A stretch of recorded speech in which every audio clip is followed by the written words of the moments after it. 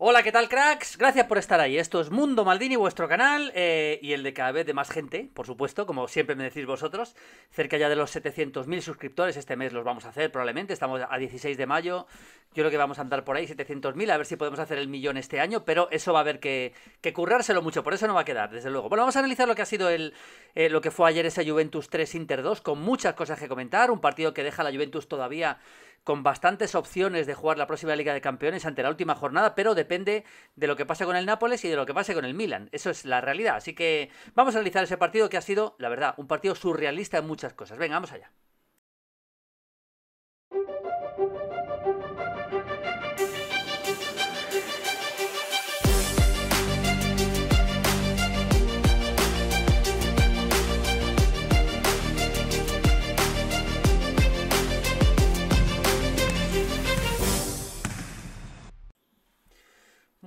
Vamos allá amigos de Mundo Maldini. Eh, Juventus 3 Inter 2. Necesitaba ganar la Juventus para seguir con opciones de jugar la próxima Liga de Campeones, que es a lo que aspira, porque ya ha perdido, lógicamente el Scudetto ya es, del Inter hace tiempo, pero son nueve temporadas consecutivas que la Juventus ganaba la Liga y esta temporada Vamos a ver si consigue meterse cuarta, que sería un éxito para la Juventus tal y como está la temporada. Luego le falta la final de Copa. Pero en cualquier caso, em, ya veremos qué pasa con Andrea Pirlo. A mí me parece bastante difícil que Pirlo siga la temporada que viene. Bastante difícil después de esta temporada. Pero bueno, ya tendremos tiempo de hacer un vídeo cuando acabe la Liga Italiana, analizando lo que ha sido el campeonato en general. Porque vamos a centrarnos en este partido. Eh, vamos por partes. Lo primero que quiero que veáis, amigos de Mundo Maldini, es las portadas de hoy de la prensa italiana deportiva. Eh, esperanza al cuadrado, dice la gacheta de los Sport, porque lógicamente la Juve, eh, el mejor jugador fue, fue cuadrado, ya lo vimos. Aquí tenemos la Juve cree el Inter ganado, eh, batuta, Inter batido 3-2. y aquí no hablan, no hablan demasiado. Bueno, los dos goles del colombiano, decide una partita, em, digamos, señata, una, una partita con, con tantos con tantos errores arbitrales, con tres penaltis, dos expulsiones. Vamos a contar todo eso, por supuesto. Este es el Corriere dello Sport. Juve con le Unghie. Esto, sinceramente, no lo sé traducir del todo, así que si sois italianos y me lo ponéis en los comentarios os lo agradezco, pero es evidente que Bar protagonista, polémica por el, por el penalti del 3-2. Eh, ahora lo comentamos también, el Atalanta en Champions. Hoy el Milan y el Nápoles tienen que responder. Y luego Tuto Sport también, qué orgullo. Eh, la Juve no mola, la Juve no, no se desanima y espera Piegata al Inter, es decir, la Juventus todavía tiene opciones de, de jugar la Champions. Eh, luego también habla de la derrota del Torino, por supuesto, y de la derrota de, y de la victoria de la DEA, del, Atalanta, que se mete en Champions ya con, total seguridad de forma matemática. Estos son los tres periódicos italianos, digamos, que he utilizado como referencia, que son los tres periódicos italianos de deportes que yo suelo, utilizar habitualmente. Vamos a analizar los once y luego ya nos metemos un poquito, metemos el bisturí en el partido, amigos de Mundo Madrid, que hay mucho que comentar. Este es el. Eh, este, así salió la Juventus con eh, Sesni, Danilo, Delicht, Chiellini, Alexandro, Rabiot, Bentancur, Cuadrado, Chiesa, Kulusevski y Cristiano. A ver, interesante la posición de Kulusevski por detrás de Cristiano, que es verdad que marcó el, el gol en ese, su gol 101, por cierto, en ese, en ese gol, en ese penalti que, que rechaza al portero y luego al final acaba marcando, rechaza Handanovic, pero tampoco hizo mucho más. Luego, de hecho, le cambian por Morata, luego lo vamos a comentar. Kiesa poquito, cuadrado el hombre del partido sin ninguna duda, bastante flojos Chiellini y Delict, y la verdad que un partido de la Juventus, para mí, eh, lo ganó, pero lo ganó con el gancho, ¿eh? Y este es el Inter, el Inter que no se jugaba nada. Bueno, de hecho, si el Inter se estuviera jugando algo, el escándalo hubiera sido muchísimo mayor pero como no se jugaba nada el Inter, pues eh, el escándalo de todo lo que pasó se, va a quedar en, muy poco, desde luego. Pero lo vamos a analizar aquí. Handanovic en la portería con Skriniar, De Brig y Bastoni, Agraf y Darmian, Brozovic, Eriksen, Varela, Lukaku y Lautaro. Luego entraría o algún cambio más, pero luego entró Perisic por Darmian al empezar la segunda parte y sería expulsado ya en el último instante del partido eh, Brozovic, el croata, el medio centro, con el que ha convertido Conte, eh, le ha convertido en un jugador verdaderamente muy importante. Bueno, vamos a analizar cosas del partido. Lo primero, el triunfo de la Juve. Eh, justo, bueno, pues, em, pues probablemente no, probablemente no, porque si analizamos y vamos a analizar todo lo que pasó con el VAR, con las jugadas polémicas, todo eso, creo que la Juventus no hizo suficiente como para ganar. El Inter no se estaba jugando nada, pero es un equipo que intentó, la verdad que los dos intentaron apretar la salida del rival, los dos, tanto el Inter como la Juve, pero yo al Inter le vi una marcha por debajo de lo que suele ser. Es lógico también, ya es campeón y le vi una marcha por debajo de lo que, de lo que suele ser este Inter. Eh, el hombre del partido es Cuadrado, Cuadrado marcó dos goles uno con una pelota que le pega a un defensor, otro el, penalti, provoca el penalti bastante discutible, por cierto, que le hacen en, el último instante cuando el partido estaba empate a dos, en un empate que prácticamente dejaba la Juve sin Champions, dejaba la Juve sin Champions.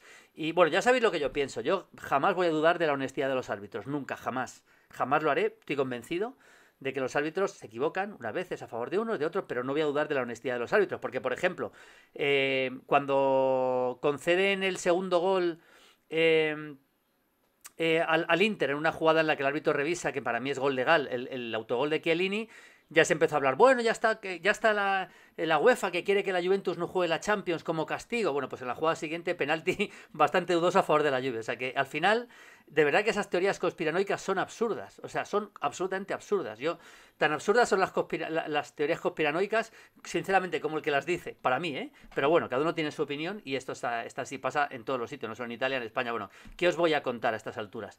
En fin, em, ahí está Cristiano que marcó el gol. Bueno, cosas del partido desde el punto de vista táctico me parece interesante. Em, eh, la Juventus, presionando bastante arriba, dejó fuera del equipo a Dybala. Apareció bastante poco Cristiano Ronaldo y apareció bastante poco eh, Kulusevski. Y al equipo le faltó capacidad en el mediocampo para manejar el partido con la pelota. Le faltó capacidad. No hizo un buen partido Bentancur, en mi opinión. Y, tampoco hizo un buen partido Rabiot. Y con ese mediocampo no tan creativo, son dos jugadores que tienen cierta creatividad, pero al final sin Artur no tiene un jugador la Juventus. Yo creo que le ha sepultado a la Juventus en esta liga que veremos si se mete cuarta última hora, pero le ha sepultado en la liga la poca capacidad creativa que ha tenido en el mediocampo. Porque al final, en la base del mediocampo es donde los partidos los acabas controlando y dominando. Y la Juventus eso no lo ha tenido, y por eso ha estado tan lejos del Inter, que el Inter ha tenido futbolistas para controlar los partidos mucho más. Otra cosa es que también en la presión el Inter haya sido mucho mejor. Eh, este es el gol de mm, después del rechazo del penalti de Handanovic, que marca el 1-0 Cristiano, luego empataría rápidamente la, el, el, Inter, el tanto de cuadrado, quiesa bastante poquito, bastante poquito. Algunas apariciones interesantes de Danilo, por cierto, del lateral derecho. De Danilo que acabó jugando en el medio campo porque al final, cuando estaba la lluvia con 10, ya lo vamos a analizar, entró, entró eh, de Miral para jugar de lateral derecho y lo que se fue es Danilo al medio campo. Pero bueno, entraría McKenny. Vamos a analizar justo esos cambios que me parecen interesantes y luego seguimos hablando un poquito ya de lo, de lo que fueron las, las últimas jugadas polémicas y de todo lo que pasó, porque el árbitro al final se le fue el partido, lógicamente, de, la, de las manos. Se le fue el partido completamente. Eh, vamos a ver, aquí tenemos eh, exactamente el 11 de la Juve y lo que hizo fue, bueno, con la expulsión de Bentancur se queda la Juve con 10, evidentemente, y lo que hace es que quita a Kulusevski para meter a, meter para jugar más atrás, ya con 10 el equipo, ¿eh?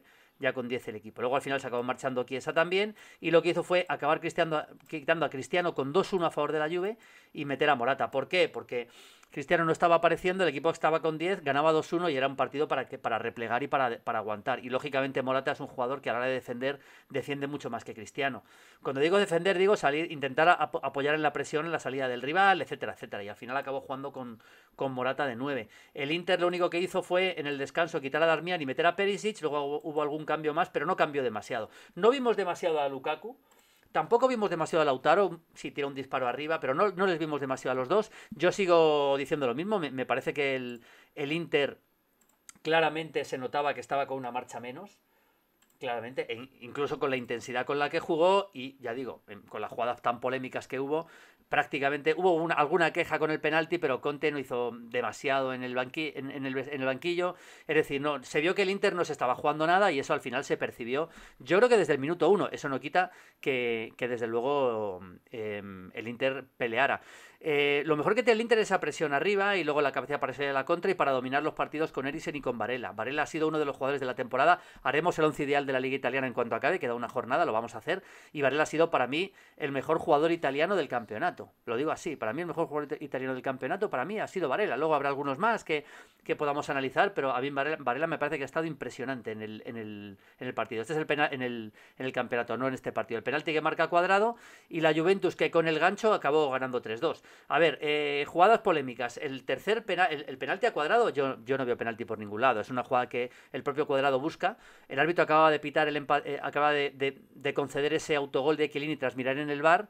Y, pitó ese penalti que la verdad causó incluso cierto estupor en la hinchada de, del Inter. Yo estaba leyendo mucho jugadores del Inter, incluso en el banquillo del Inter, eso se notó. Y yo creo que incluso hasta en el, de la Juventus algunos estaban bastante sorprendidos. ¿eh? Esa es la, sensación que tengo. Pero bueno, gol de cuadrado Em, y bueno, los dos primeros penaltis, a mí me parece que el de, mm, el de Delita Lautaro es claro, es un, es un pisotón claro y el primero, a mí me parece que son, son los dos, sinceramente. Yo creo que la, la jugada más discutible, casi diría que la única jugada discutible del todo, porque las otras son más o menos interpretables, es el penalti.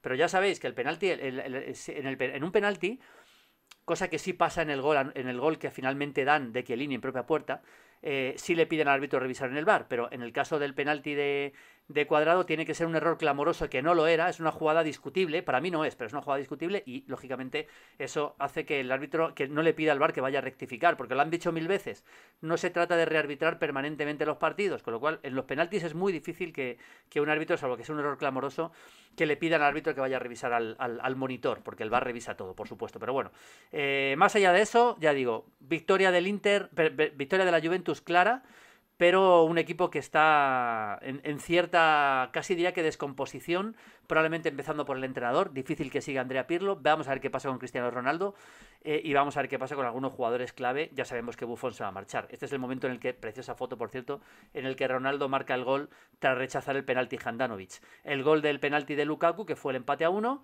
eh, y bueno, el cuadrado cantando el gol, Kielin, uno de los, de los eh, jugadores clave en el partido. En fin, eh, victoria de la Juventus ante el Inter y creo que hemos intentado analizar algo que fue bastante, la verdad que bastante surrealista viendo el partido. Un abrazo amigos de Mundo Maldini, chao, chao, chao, chao.